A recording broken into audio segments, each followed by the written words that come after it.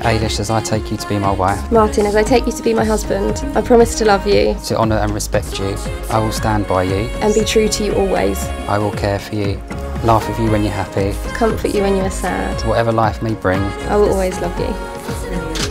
husband and wife, and I'm sure you'd like to seal that with a kiss.